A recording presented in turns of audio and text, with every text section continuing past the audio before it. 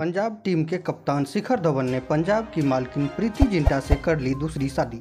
दोस्तों, आप भी देखना चाहते हो, क्या ये पूरी खबर? आप भी चाहते हो शिखर धवन, प्रीति जिंटा से शादी कर ले तो इस वीडियो को एक लाइक करिए, चैनल को सब्सक्राइब कीजिए, बेल आइकन दबाइए, ऑल नोटिफिकेशन पर ऑन क्लिक करना बिल्कुल ना भूलें। दोस्तों, इस बार आईपीएल 2023 में पंजाब टीम की ओर से खेल रहे शिखर धवन और पंजाब टीम के कप्तानी भी करते नज़र आए, जहाँ पर पंजाब के टीम को पहले मुकाबले में तो हार का सामना करना पड़ा था, मगर दोस्तों, दूसरे मुकाबले में पंजाब की टीम ने पहले बल्लेबाजी करते हुए बनाए एक रन, जिसमें शिखर धवन ने छप्पन गेंदों में नौ चौके, तीन छक्के की मदद से छियासी रन की पारी खेल डाली।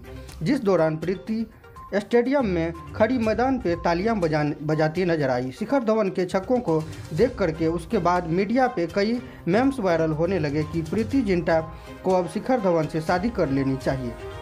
क्योंकि शिखर धवन भी तलाक दे चुके हैं अपनी पत्नी आयशा मुखर्जी को और शिखर धवन को पंजाब की टीम की मालकिन प्रीति जिंटा से दूसरी शादी कर लेनी चाहिए। क्योंकि पंजाब किंग के कप्तान शिखर धवन हैं और पंजाब की मालकिन प्रीति जिंटा है और दोनों दोस्तों, दोनों को आपस में शादी कर लेनी चाहिए।